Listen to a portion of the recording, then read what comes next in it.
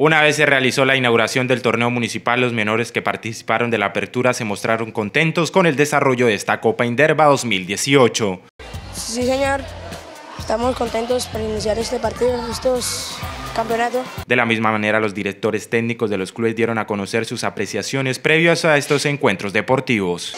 Hacemos parte de un proceso, soy parte de la directiva y pues esto es una buena oportunidad para poder eh, demostrar que hay buen talento en, la ciudad y que se puede invertir el tiempo en, en algo bueno.